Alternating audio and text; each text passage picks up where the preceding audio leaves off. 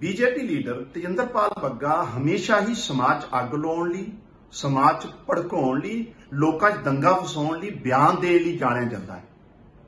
ਔਰ ਪੰਜਾਬ ਦਾ ਮਾਹੌਲ ਔਰ ਸ਼ਾਂਤੀ ਨੂੰ ਖਰਾਬ ਕਰਨ ਲਈ ਵੀ ਇਹਨੇ ਕਈ ਗੈਰ ਜ਼ਿੰਮੇਵਾਰ ਜ਼ਿੰਮੇਵਾਰਾਂ ਨਾਲ ਭੜਕਾਊ ਪਿਛਲੇ ਦਿਨਾਂ 'ਚ ਬਿਆਨ ਦਿੱਤੇ ਆ। ਪੰਜਾਬ ਪੁਲਿਸ ਦੇ ਪੰਜ ਵਾਰ ਨੋਟਿਸ ਭੇਜਣ ਤੋਂ ਬਾਅਦ ਵੀ ਤੇਜਿੰਦਰਪਾਲ ਬੱਗਾ ਹਾਜ਼ਰ ਨਹੀਂ ਹੋਇਆ ਔਰ ਅੱਜ ਪੰਜਾਬ ਪੁਲਿਸ ਨੇ ਇੱਕ ਕਾਨੂੰਨੀ ਪ੍ਰਕਿਰਿਆ ਦੇ ਅੰਤਰਗਤ ਉਹਨੂੰ ਅਰੈਸਟ ਕੀਤਾ ਹੈ। ਜਿੱਥੇ ਕਿ ਦਿੱਲੀ ਪੁਲਿਸ ਨੇ ਔਰ ਬੀਜੇਪੀ ਦੇ ਕਹਿਣ ਤੇ ਔਰ ਬੀਜੇਪੀ ਹਮੇਸ਼ਾ ਹੀ ਐਂਟੀ ਸੋਸ਼ਲ ਐਲੀਮੈਂਟਸ ਦੰਗਾ ਫਸਾਦ ਕਰਨ ਵਾਲੇ ਲੋਕਾਂ ਦਾ ਸਪੋਰਟ ਕਰਦੀ ਹੈ ਅੱਜ ਬੀਜੇਪੀ ਨੇ ਪੰਜਾਬ ਪੁਲਿਸ ਦੀ ਕੰਮ ਜਿਹੜੀ ਕੰਮ 'ਚ ਦਖਲਅੰਦਾਜ਼ੀ ਕੀਤੀ ਹੈ ਔਰ ਇਹ ਬਹੁਤ ਗੈਰ ਕਾਨੂੰਨੀ ਹੈ Punjab police without political interference ਕਾਨੂੰਨ ਅਨੁਸਾਰ ਆਪਣਾ ਕੰਮ ਕਰ ਰਹੀ ਹੈ ਮਾਨ ਸਾਹਿਬ ਨੇ ਪਹਿਲਾਂ ਹੀ ਕਿਹਾ ਹੈ ਪੰਜਾਬ ਦੀ ਧਰਤੀ ਤੇ ਕਿਸੇ ਤਰ੍ਹਾਂ ਦੇ ਨਫ਼ਰਤ ਦੇ ਬੀਜ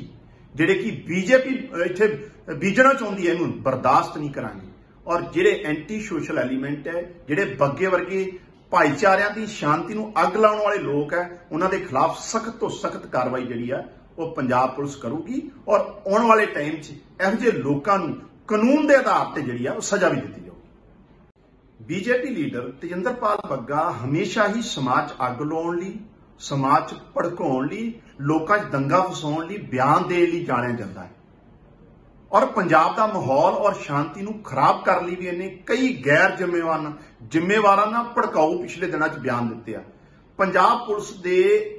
ਪੰਜ ਵਾਰ ਨੋਟਿਸ ਭੇਜਣ ਤੋਂ ਬਾਅਦ ਵੀ ਤੇਜਿੰਦਰਪਾਲ ਬੱਗਾ ਹਾਜ਼ਰ ਨਹੀਂ ਹੋਇਆ। ਔਰ ਅੱਜ ਪੰਜਾਬ ਪੁਲਿਸ ਨੇ ਇੱਕ ਕਾਨੂੰਨੀ ਪ੍ਰਕਿਰਿਆ ਦੇ ਅੰਤਰਗਤ ਉਹਨੂੰ ਅਰੈਸਟ ਕੀਤਾ ਹੈ ਜਿੱਥੇ ਕਿ ਦਿੱਲੀ ਪੁਲਿਸ ਨੇ ਔਰ ਬੀਜੇਪੀ ਦੇ ਕਹਿਣ ਤੇ ਔਰ ਬੀਜੇਪੀ ਹਮੇਸ਼ਾ ਹੀ ਐਂਟੀ ਸੋਸ਼ਲ ਐਲੀਮੈਂਟਸ ਦੰਗਾ ਫਸਾਦ ਕਰਨ ਵਾਲੇ ਲੋਕਾਂ ਦਾ ਸਪੋਰਟ ਕਰਦੀ ਹੈ ਅੱਜ ਬੀਜੇਪੀ ਨੇ ਪੰਜਾਬ ਪੁਲਿਸ ਦੀ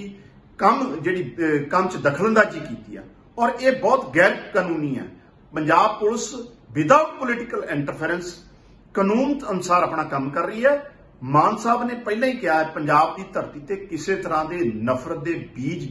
ਜਿਹੜੇ ਕਿ ਬੀਜੇਪੀ ਇੱਥੇ ਬੀਜਣਾ ਚਾਹੁੰਦੀ ਹੈ ਇਹਨੂੰ ਬਰਦਾਸ਼ਤ ਨਹੀਂ ਕਰਾਂਗੇ ਔਰ ਜਿਹੜੇ ਐਂਟੀ ਸੋਸ਼ਲ ਐਲੀਮੈਂਟ ਹੈ, ਜਿਹੜੇ ਬੱਗੇ ਵਰਗੇ ਭਾਈਚਾਰਿਆਂ ਦੀ ਸ਼ਾਂਤੀ ਨੂੰ ਅੱਗ ਲਾਉਣ ਵਾਲੇ ਲੋਕ ਹੈ, ਉਹਨਾਂ ਦੇ ਖਿਲਾਫ ਸਖਤ ਤੋਂ ਸਖਤ ਕਾਰਵਾਈ ਜਿਹੜੀ ਆ, ਉਹ ਪੰਜਾਬ ਪੁਲਿਸ ਕਰੂਗੀ ਔਰ ਆਉਣ ਵਾਲੇ ਟਾਈਮ 'ਚ ਇਹੋ ਜਿਹੇ ਲੋਕਾਂ ਨੂੰ ਕਾਨੂੰਨ ਦੇ ਆਧਾਰ ਤੇ ਜਿਹੜੀ ਆ, ਉਹ ਸਜ਼ਾ ਵੀ ਦਿੱਤੀ